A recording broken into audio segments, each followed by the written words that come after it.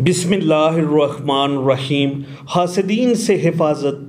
अगर किसी शख्स के माल व जान और इज़्ज़त व मनसब के लिए हासदीन पैदा हो जाएँ तो उसे चाहिए कि नमाज़ पंज वक्ता की पाबंदी के साथ एक ही दिन में इक्कीस बार सूरह यूनस की तलावत करे और ख़ुद पर ख़ुद दम करे। और दूसरा अमल ये भी है कि इक्कीस आयाम तक रोज़ाना एक बार सूरह यूनस की तलावत करे और अल्लाह ताला से हिफाजत की दुआ करे। कामयाबी इन ज़रूर होगी।